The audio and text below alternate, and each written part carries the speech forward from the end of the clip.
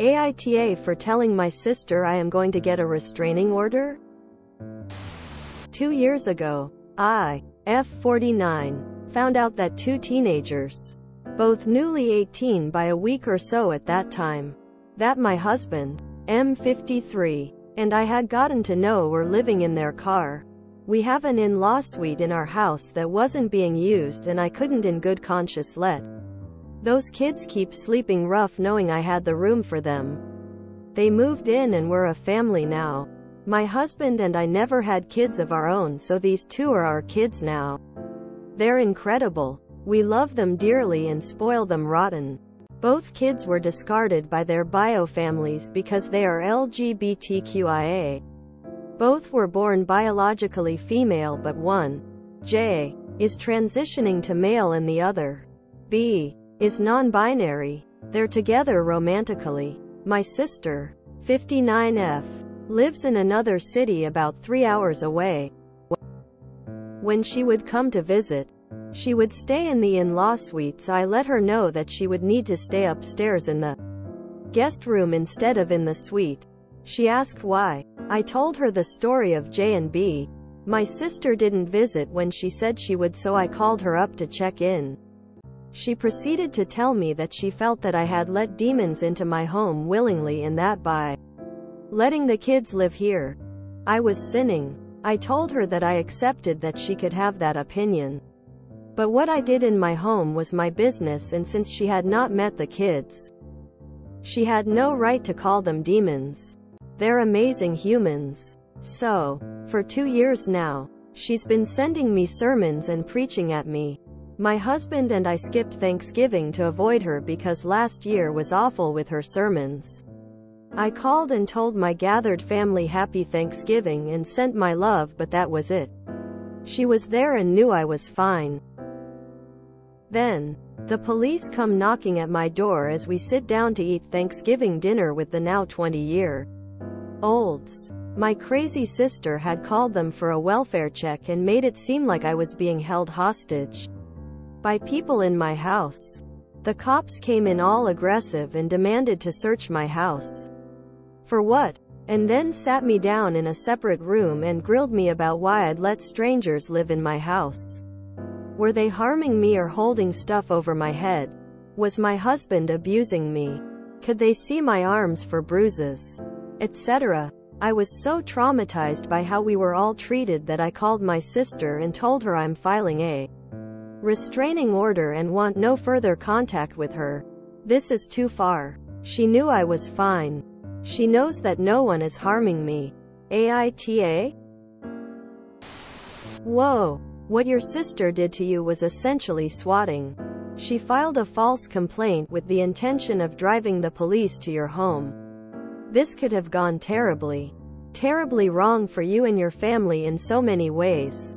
You are very lucky that the police did not assume anyone was armed. Someone could have been killed. You need to not only put out a restraining order, you need to look into whether or not you can file charges against her. It is also critically important that you get your side of the story on the record and make sure that local authorities are familiar with the situation. I am not joking here. Her actions put your physical safety at risk and there is no guarantee she will not try this again. It goes without saying that you are NTA. But I will say it anyway.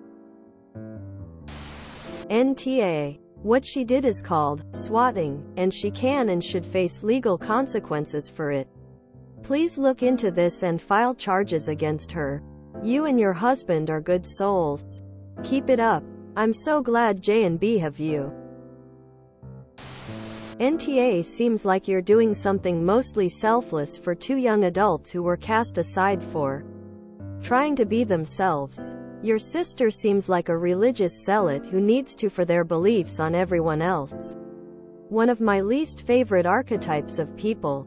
File that restraining order. Her behavior is ridiculous. One rule of legal actions is don't tell your opponent what's coming down the pipe if you don't legally have to. Let her find out from her own lawyer. If you're going to be in a legal war, don't help your opponent. First, Op. Love the username. SB Forever.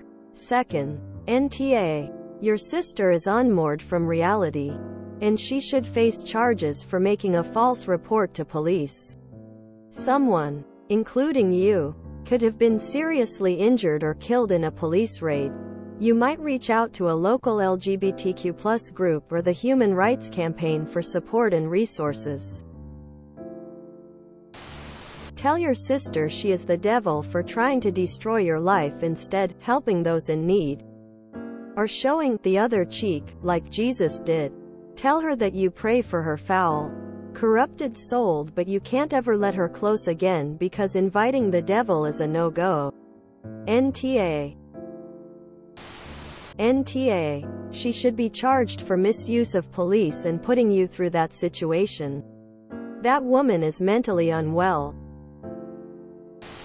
NTA. This must have been terrifying. I hope you do file for a restraining order on your sister. Perhaps she also needs psychiatric assessment if she thinks pushing her religious views and pulling a stunt like this is okay. NTA for telling her. Won't be when you actually file it. Also, you don't have a sister anymore. A year ago you had a 21-year-old son with a 23-year-old GF. Same kids? NTA. The swatting your sister did was morally reprehensible, legally sanctionable, and could easily have ended with one or more folks living under your roof physically hurt in addition to being utterly traumatized. Her despicable behavior is inexcusable. I would urge you to urge your local police to bring charges against her. And in addition to a restraining order you might want to explore with a local attorney whether you can file civil charges against her for compensation for harassment and intentional infliction of emotional distress. No good deed goes unpunished. It is said. I am so sorry your sister so relentlessly has tried to make that true for you.